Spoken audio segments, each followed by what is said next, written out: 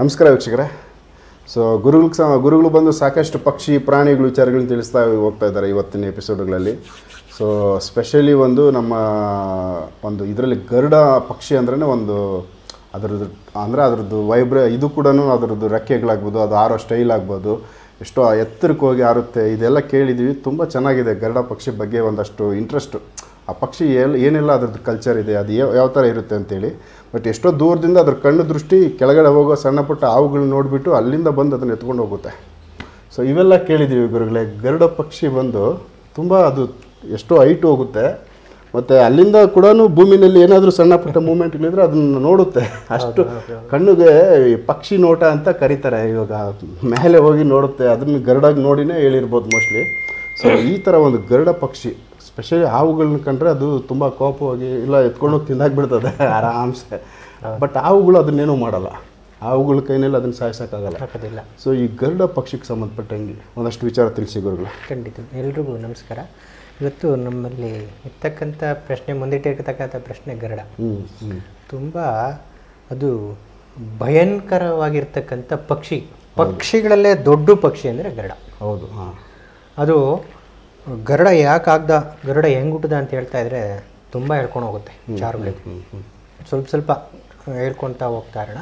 ಇದು ನೋಡಿ ಗರುಡ ಅಂತಕ್ಕಂಥದ್ದು ಈ ಪುರಾಣಗಳು ಹೇಳಿರ್ತಕ್ಕಂಥದ್ದು ಆ ಗರುಡ ವಾಹನ ಗರುಡ ಏನಿದೆಯೋ ಆ ಒಂದು ಸಲ ರೆಕ್ಕೆಯನ್ನು ತೆಗೆದು ಈ ಥರ ಆಡಿಸಿ ತಾಟದ್ರೆ ಅಂತ ನಮ್ಮ ಹಳ್ಳಿ ಭಾಷೆಯಲ್ಲಿ ಹೇಳಿದ್ವಿ ಆ ರೀತಿ ತಾಟದ್ರೆ ಒಂದು ಸಲ ಭೂಮಿ ಕೆಳಗಡೆ ಹೋಗಿ ಮೇಲೆ ಬರುತ್ತಂತೆ. ಅಷ್ಟು ದೊಡ್ಡ ಪಕ್ಷಿ ಗರುಡ ಪಕ್ಷಿ ಓಕೆ ಓಕೆ. ಅಂದ್ರೆ ಇದು ಅಷ್ಟು ಶಕ್ತಿ ಇದೆ ಅಷ್ಟು ಶಕ್ತಿ ಇತ್ತಂತೆ ಅದಕ್ಕೆ. ಓಕೆ ರೆಕ್ಕೆನಲ್ಲಿ ಅಷ್ಟು ರೆಕ್ಕೆಯಲ್ಲಿ ಆ ಇದು ಜನಿಸಿದಾಗ ಭೂಮಿ ಹಾರುವಾಗ ಭೂಮಿ ತಾಯಿ ಕೇಳಿದಂತೆ ಅಯ್ಯೋ ಈ ಒತ್ತಡ ನನ್ನ ಕೈಯಲ್ಲಿ ತಡ್ಕೊಳಕ್ಕಾಗಲ್ಲ ಮಹಾನ್ ಭಾವ ಕೇಳ್ಕೊಂಡಾಗ ಆ ಪಕ್ಷಿ ಚಿಕ್ಕದಾಗಿದೆ. ಅಷ್ಟು ದೊಡ್ಡ ಪಕ್ಷಿ ದೊಡ್ಡ ಪಕ್ಷಿ ಒಂದು ಸಲ ತಾಟಿದ್ರೆ ಗ್ರಹಗಳೆಲ್ಲ ಅಲ್ಲಾಡ ಹೋಗುತ್ತೆ ಅದಕ್ಕೆ ಗರುಡನ ಯಾರು ಯಾರು ಕೂಡ ಸಾಕಾಣಿಕೆ ಮಾಡಕ್ ಹೋಗಲ್ಲ. ಯಾರು ಸಾಕೋದಿಲ್ಲ.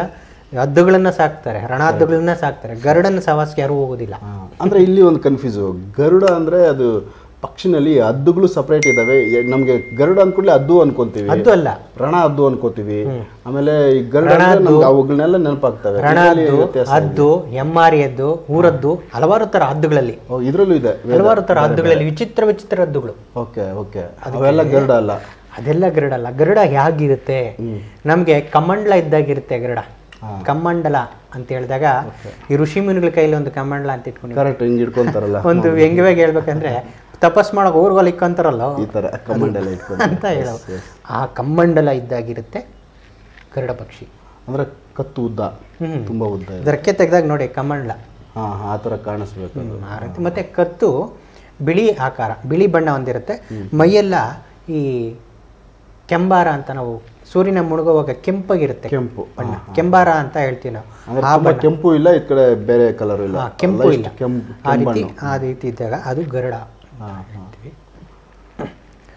ಅದು ಏನೇ ಆದರೂ ಒಂದು ಸಲ ತಾಕಿದ್ರೆ ಭೂಮಿಗೆ ಭೂಮಿನೇ ನಡ್ಗೋಗುತ್ತಂಥದ್ದು ಅಷ್ಟು ವೈಬ್ರೇಷನ್ ಇದೆ. ಅಷ್ಟು ಶಕ್ತಿ ಆ ಗರುಡ ಉತ್ಪತ್ತಿ ಮಾಡಿದಾಗ ಭಗವಂತ. ಅಂದ್ರೆ ಅಷ್ಟು ಸ್ಪೀಡಾಗಿ ಅದು ಜಂಪ್ ಆಗುತ್ತೆ ಮೇಲೆ. ಹೌದು ಆ ರೀತಿ. ಅದಕ್ಕೋಸ್ಕರ ಅದನ್ನ ಆಕಾರನ ಭಗವಂತ ಒಂದು ಆಶೀರ್ವಾದ ಮಾಡಿ ಅದಕ್ಕೆ ಸಮಾಧಾನ ಮಾಡಿ ಚಿಕ್ಕದು ಮಾಡ್ತೀವಿ ಸೂಪರ್ ಆ ಗರುಡ ಯಾಕೆ ಹಾವುಗಳನ್ನ ಅಷ್ಟು ದ್ವೇಷ ಮಾಡುತ್ತೆ ಅಂತ ಹೇಳಿದ್ರೆ ಹಾವುಗಳು ಕಾಟ ತಾಳ್ಲಾಡ್ದಿರ ಈ ಎಲ್ರಿಗೂ ಹಿಂಸೆ ಕೊಡೋಕ್ಕೆ ಪ್ರಾರಂಭ ಆಗುತ್ತದೆ. ಓಕೆ. ಅದಕ್ಕೆ ನೋಡಿ ಈ ಹಾವುಗಳಿಗೆ ಯಾವುದು ಅಡ್ಡಿ ಇಲ್ಲ. ದೋಷಗಳು ಅದಕ್ಕೆ ಒಂದು ಸ್ಥಾನ ಅನ್ನೋ ಸಿಕ್ಬಿಟ್ಟಿತ್ತು. ಹೌದು ಹೌದು ಪುರಾಣಗಳಲ್ಲಿ. ಸಿಕ್ಬಿಟ್ಟಾಗ ಏನು ಮಾಡುತ್ತೆ? ಈ ಗರುಡನ್ ಅಂತಕ್ಕಂಥದ್ದನ್ನ ಸೃಷ್ಟಿ ಮಾಡ್ತಾರೆ ಭಗವಂತರು. ಹಾ, ಅಂದ್ರೆ ಅವುಗಳು ಕಂಟ್ರೋಲ್ ಮಾಡೋದು ಕಂಟ್ರೋಲ್ ಮಾಡೋದಕ್ಕೋಸ್ಕರ. ನೋಡಿ ಈಗ ಹಾವುಗಳು ಯಾವುದಕ್ಕೂ ಎದುರೋದಿಲ್ಲ ಗಮನಿಸಿ ನೀವು. ಕರೆಕ್ಟ್ ಗರುಡನ್ ನೋಡಿದ ತಕ್ಷಣ ಅದನ್ನ ನೆರಳು ಬಿಟ್ಟ ತಕ್ಷಣ ತಲೆ ಪಗ್ಗಿಸ್ಕೊಂಡು ಫಸ್ಟ್ ಹುಡುಗ ಸೇಫ್ ಮಾಡೋದು ನೋಡ್ತಾ ಇರುತ್ತೆ ಅಂದ್ರೆ ಗೊತ್ತು ನನ್ಗೆ ರಕ್ಷಣೆ ಇಲ್ಲ ಇಲ್ಲಿ ಅಂತ. ಸತ್ತೋಗುತ್ತೆ ಸಾಯಿಸಾಕತ್ತೆ ಕೆಲವರಿಗೆ ಗರುಡು ಮಚ್ಚೆ ಅಂತಾರೆ ಗರುಡ ಅಚ್ಚೆ ಇವೆಲ್ಲನೂ ಕೆಲವೊಂದು ಪುರಾಣಗಳಲ್ಲಿ ನೋಡಿದ್ದೀನಿ. ಇರುತ್ತೆ. ಗರುಡ ಯಾವುದೋ ಒಂದು ನಮ್ಮ ಹಳೆಯದು ಒಂದು ಸಿನಿಮಾ ಐತೆ ಅದು ಹೆಸರು ನೆನಪಿಲ್ಲ ನನಗೆ. ಅದರೊಳಗಡೆ ಶ್ರೀನಾಥ್ ಒಂದು ಕ್ಯಾರೆಕ್ಟರ್ ಬರುತ್ತೆ. ಅವ್ರಿಗೆ ಗರಡು ಮಚ್ಚೆ ಇರುತ್ತೆ. ಸೊ ಅದು ಹಾವುಗಳು ಬಂದು ಇವ್- ಇವು ಇವನು ಅಂದರೆ ಎಲ್ಲರಿಗೂ ಹಿಂಸೆ ಕೊಡ್ತಾ ಇರುತ್ತೆ. ಬಟ್ ಇವನ ಹತ್ರ ಗರಡ ಮಚ್ಚೆ ಇರೋದ್ರಿಂದ ಇವನಿಗೇನು ಹಿಂಸೆ ಕೊಡೋದಿಲ್ಲ. ಈ ಥರದ್ದು ಒಂದು ಸಿನಿಮಾ ಬಟ್ ಅಲ್ಲಿಂದ ಅದನ್ನ ಒಂದು ಪದ್ಧತಿನಲ್ಲಿ ಎತ್ಕೊಂಡ್ಬಂದಿದ್ದಾರೆ ಯಾಕಂದರೆ ನಾವು ನಿಮಗೆ ಹಿಂದಿನ ಇದರಲ್ಲೆಲ್ಲ ಹೇಳಿದ್ರಿ. ಒಂದು ಸಿನಿಮಾ ಒಂದು ತೆಗಿಬೇಕಾದ್ರೆ ಅವ್ರು ಏನಾದರೂ ಅದು ಭಾವನೆಗಳು ತುಂಬಬೇಕಾದ್ರೆ ಒಂದು ಕಾರಣ ಇಲ್ಲದಿದ್ದೇನು ಒಂದು ಕಾರಣ ಬೇಕು. ಹೌದು ಹೌದು. ಅದಕ್ಕೋಸ್ಕರ ಇದೇನಾದರೂ ಒಂದು ಸ್ವಲ್ಪ ಒಂಚೂರು ಸಿಕ್ಕಿದಾಗ ಅದಕ್ಕೆ ಬಣ್ಣಗಳು ಹಾಕೊಂಡು ಮಾಡ್ತಕ್ಕಂಥ ಇರುತ್ತೆ ಅದು. ಓಕೆ. ಅದು ಯಾಕಂದ್ರೆ ಅದಕ್ಕೆ ಪಿಕ್ಚರಲ್ಲಿ ತೋರಿಸೋ ಸ್ವಲ್ಪ ಭಯಾನಕ ಇರುತ್ತೆ. ನಿಜದಿಂದ ಚಿಕ್ಕದಾಗಿರುತ್ತೆ. ಹೌದು ಹೌದು. ಅದಕ್ಕೋಸ್ಕರ ಈ ಗರಡ ಅಂತಕ್ಕಂಥದ್ದು ನಾಗರಾವುಗಳನ್ನ ಸಂಹಾರ ಮಾಡೋಕ್ಕೆ ಗರಡ ಹುಟ್ಟಿದ. ವಿಷ ಜಂತುಗಳನ್ನ ಸಂಹಾರ ಮಾಡೋಕ್ಕೆ ಭಗವಂತ ಹುಟ್ಟಾಕಿರೋಂಥದ್ದು ಅದು ನೋಡಿ ಇದೇನಾದರೂ ಗರಡ ಅನ್ನೋದು ಇಲ್ಲ ಅಂದಿದ್ರೆ ನಾವು ಹಾವುಗಳ ಸಂತಾನವನ್ನು ಕಂಟ್ರೋಲ್ ಮಾಡೋಕೆ ಮಾಡೋಕ್ಕೆ ಆಗ್ತಿರ್ಲಿಲ್ಲ. ಇವತ್ತು ಹೇಗಿರ್ತಿತ್ತು ಅಂತ ಹೇಳಿದ್ರೆ ಈ ಮಳೆ ಬಿದ್ದಾಗ ಯಾವ ರೀತಿ ಉದುರದ ನೀರು ಹರಿಯುತ್ತೆ ನೋಡಿ ಆ ರೀತಿ ಹಾವುಗಳು ಇರ್ತಕ್ಕಂಥ ಸಂತಾನ ಅಷ್ಟು ಹೆಚ್ಚಾಗಿರುತ್ತೆ. ಸಂತಾನವನ್ನು ಹಾಳು ಮಾಡೋದಕ್ಕೋಸ್ಕರ ಗರಡನ್ನ ಹುಟ್ಟಿಸಿದ್ದು ಅಂದ್ರೆ ಒಂದು ಎಲ್ಲದಕ್ಕೂ ಕಂಟ್ರೋಲ್ ಬೇಕಲ್ಲ. ಬೇಕು. ಅಂದ್ರೆ ಅತಿ ಆಗ್ಬಾರ್ದು ಅತಿ. ಆಗಬಾರ್ದು ಅಂತೇಳಿ ಭಗವಂತ ಇದನ್ನ ಹುಟ್ಟಿಸಿರ್ತಕ್ಕಂಥದ್ದು ಆ ಗರುಡ ಯಾಕೆ ಹಾವುಗಳನ್ನ ಸೇವನೆ ಸಿಕ್ಕಾಪಟ್ಟೆ ಬಗದು ತಿನ್ನುತ್ತದೆ. ಅದು ಎಷ್ಟು ಸೂಕ್ಷ್ಮ ಅಂತ ಹೇಳಿದ್ರೆ ಅಷ್ಟು ಸೂಕ್ಷ್ಮ. ಹಾವುಗಳನ್ನ ಸಂಹಾರ ಮಾಡ್ತಕ್ಕಂಥದ್ದೇ ಗರುಡ. ಹದ್ದುಗಳು ತಿನ್ನುತ್ತೆ ಅದು ತಿನ್ನುತ್ತೆ. ಒಂದು ಇದರಲ್ಲಿ ನಮ್ಮ ಸಂಪ್ರದಾಯದಲ್ಲಿ ಹಲವಾರು ಜನಕ್ಕೆ ಇದು ಗೊತ್ತಿದೆಯೋ ಗೊತ್ತಿಲ್ಲ. ಗರುಡ ಯಾಗ ಅಂತ ಒಂದಿದೆ. ಗರುಡ ಯಾಗ. ಯಾಗಗಳಲ್ಲಿ ಗರುಡ ಯಾಗ ಅಂತ. ಅದು ಅಪರೂಪವಾಗಿರ್ತಕ್ಕಂಥ ವಿದ್ಯೆ. ಈಗ ಯಾರು ಮಾಡ್ತಾರೋ ಅದು ನಮಗೆ ಗೊತ್ತಿಲ್ಲ. ಸಂಪೂರ್ಣ ನಾಗದೋಷ ಇದ್ದಾಗ ಅವನು ಒಂದು ಯಾಗಗಳದು ಈ ಗರುಡನಿಂದ ಹುಟ್ಟಿರೋಂಥ ಯಾಗ ಅದು. ಓಕೆ. ಅದು ಗರುಡ ಪುರಾಣಗಳಲ್ಲಿ ಅದ್ರ ಬಗ್ಗೆ ವಿವರಣೆ ಕೊಟ್ಟಿಲ್ಲ ಯಾಗಗಳ ಬಗ್ಗೆ. ಬರೀ ಒಂದು ಯಾಗ ಅಂತ ಹೇಳಿದ್ದಾರೆ ಅಷ್ಟೇ. ಆ ಯಾಗಗಳು ಏನು ನಾವು ಈ ಮಹಾನ್ ಭಾವ ಏನು ಹೇಳಿದಾನೋ ವಿಷ್ಣು ಪರಮಾತ್ಮ ಒಂದು ನೂರು ಹಾವು ಸಾಯಿಸಿ ಓಕೆ. ಸಂಪೂರ್ಣ ನೀನು ಕೊಲೆ ಮಾಡು ಸುಟ್ಟುಬಿಡು ಗರುಡಿ ಯಾಗ ಮಾಡಿಸು ಅದಕ್ಕೆ ನಾನು ಗ್ಯಾರಂಟಿ ಅಂತ ಹೇಳಿದ್ದಾನೆ ನೂರು ಹಾವಿನ ದೋಷ ಒಂದು ಸಂಪೂರ್ಣ ಗರುಡ ಯಾಗದಲ್ಲಿ ಮಾಡೋದ್ರಿಂದ ಸಂಪೂರ್ಣ ಹೊಟ್ಟೋಗುತ್ತೆ ಅಂತ ಪುರಾಣ ಹೇಳಿದೆ. ಅದಕ್ಕೋಸ್ಕರ ಗರುಡನಿಗಿರೋ ಶಕ್ತಿ ಯಾವುದಕ್ಕಿಲ್ಲ. ಗರುಡನ ಸಂತಾನ ಕಮ್ಮಿ. ಹೌದು ಕಡಿಮೆ ರೂಪ ಅದು ಏನಾದರೂ ನಮಗೆ ಅದು ಶುಭ ಶಕ್ನ ಅಂತ ಇದ್ದಾಗ ಶುಭ ಭಗವಂತ ನಮ್ಮ ಜೊತೆಲಿ ಇದ್ದಾನೆ ಅಂತ ಇದ್ದಾಗ ಅದು ಮಲೆ ಮೇಲೆ ಮೂರು ರೌಂಡ್ ಹೊಡಿಯುತ್ತೆ ಗಮನ ಮೇಲೆ. ಗಮನಿಸಿ ನಾವು ಕೂಡ ಗಮನಿಸಿರ್ತಕ್ಕಂಥದ್ದು. ಅದು ಗಮನಿಸಿ ಶುಭ ಶಕ್ನ ಶುಭ. ಭಗವಂತನು ಇವ್ರ ಮನೇಲಿ ಇದ್ದಾನೆ ದೇವರು ಆಶೀರ್ವಾದ ಇದೆ.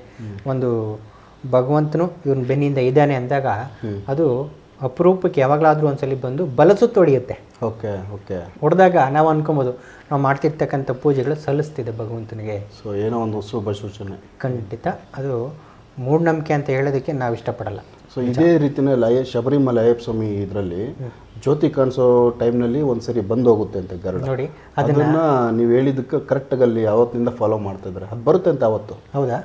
ಅದ್ರ ಬಗ್ಗೆ ನಮಗೆ ಬಂದ್ ಹೋಗುತ್ತೆ ಅಂತ ಅವತ್ತು. ಅದು ಶುಭ ಇದ್ದಾಗ ಮಾತ್ರ ಒಂದು ದೇವರ ಆಶೀರ್ವಾದ ಇದ್ದಾಗ ಮಾತ್ರ ಬರ್ತದೋ ಬೇರೆ ಟೈಮಲ್ಲಿ ನೀವು ಸಾಧ್ಯ ನೀವು ಕರ್ಕೊಂಬಂದು ಬಿಟ್ಟು ಇರೋದಿಲ್ಲ. ಅಷ್ಟು ಅದಕ್ಕೆ ಪವರ್ ಇದೆ. ಗರುಡ ಅಂದರೆ ಗರುಡ ಪುರಾಣ ಓದಿ ನೋಡಿ. ಅದ್ರ ಬಗ್ಗೆ ಹಿಂಸೆಗಳು ಅಹಿಂಸೆಗಳು ಗರುಡ ಯಾಕೆ ಹುಟ್ಟದ ಅಂತ ಹಲವಾರು ಇದೆ ಯಾಕಂದರೆ ಇದ್ರ ಬಗ್ಗೆ ಮಾತಾಡ್ತಿದ್ರೆ ಒಂದು ಪುರಾಣ ಹೇಳ್ದಾಗಿರುತ್ತೆ. ಹೌದು ತುಂಬ ಸಮಯ ತಗೊಳುತ್ತೆ.